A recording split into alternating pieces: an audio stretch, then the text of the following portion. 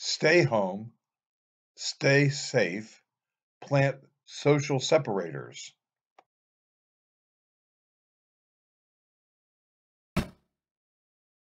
I call these COVID-19 trees because these are green giant arborvitaes, and they're known for social separating your property from your neighbor's property. You may be stuck home because of the, the coronavirus pandemic, and your neighbor may be stuck home as well, and you'll want a tree that can block your neighbor. These trees have an amazing ability to block out your neighbor because they can grow upwards to two to three feet a year. At Highland Hill Farm, we grow and sell thousands of these trees, and we deliver and install.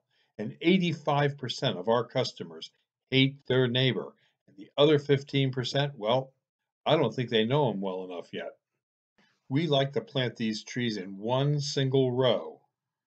We plant them five feet from a fence or a property line, and we like to plant them five foot center to center.